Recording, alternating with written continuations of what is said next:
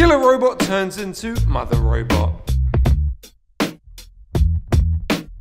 Back in September, Mark spoke about the Ranger Bot, who's been designed to help uh, with the crown of thorns starfish problem in the Great Barrier Reef. It's been doing that job for some time now, and by the looks of things, it's been doing a rather good job, because it now has a promotion. Rather than killing these ranger bots will now help give life to the reef, using a technique called larval restoration.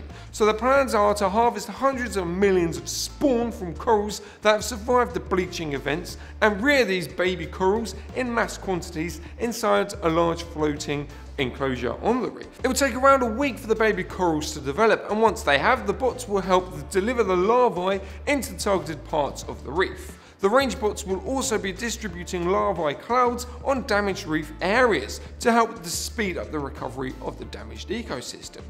So throughout November, two or three drones will be releasing this spawn to test out this theory. This has already been helmed as a revolutionising the coral restoration program, and, it, and if it works, it will breathe new life into the Great Barrier Reef and hopefully other reefs soon after. Now this of course is a great story, drones being promoted from killers to mothers. So what do you think about this? Will this actually help the Great Barrier Reef or is it too little too late? Let's have a chat about it in the comments. If you're watching this on Twitter, why not give us a like and a retweet? And to our awesome YouTube family, you know what to do. Thanks for watching and stay classy, scuba divers. We are an online dive store serving the UK and the world for all your diving equipment needs. So why not visit us at simplyscuba.com or click the box on your screen.